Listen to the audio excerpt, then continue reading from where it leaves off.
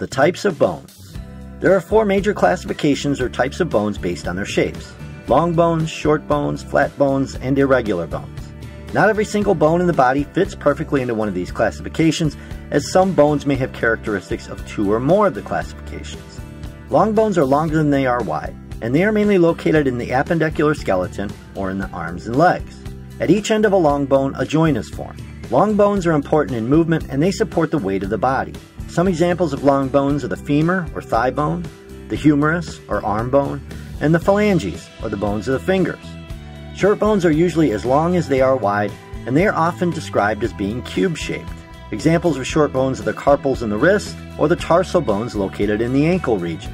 Short bones have little to no movement and they provide support and stability. Flat bones are usually thin and sometimes have a curved shape to them.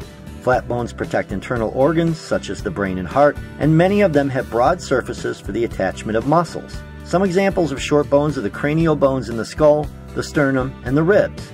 Irregular bones vary in shape, so they do not fit into one of the three previous categories. Some irregular bones protect organs, and some, such as the patella or kneecap, attach to tendons. The patella is also classified as a sesamoid bone or round bone. Some sources list sesamoid bones as an irregular bone, and some sources list sesamoid bones as a fifth bone collection by itself. And that be the basics on the four types of bones in the body.